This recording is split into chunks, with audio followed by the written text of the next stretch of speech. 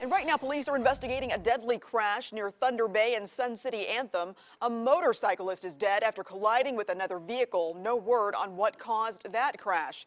In Chopper 13, Fast and